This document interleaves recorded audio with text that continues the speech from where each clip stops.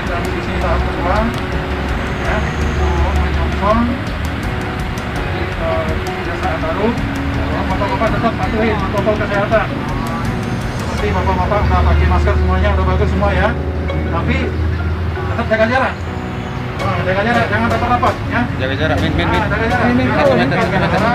Bangun dulu, bangun dulu bentar. Min. Min. Oke, ya. Terus. Tetap bapak-bapak cuci tangan ya yang mengalir Siapa? ya Siap, siapa? untuk mencegah apa namanya penularan COVID-19 katanya Siapa?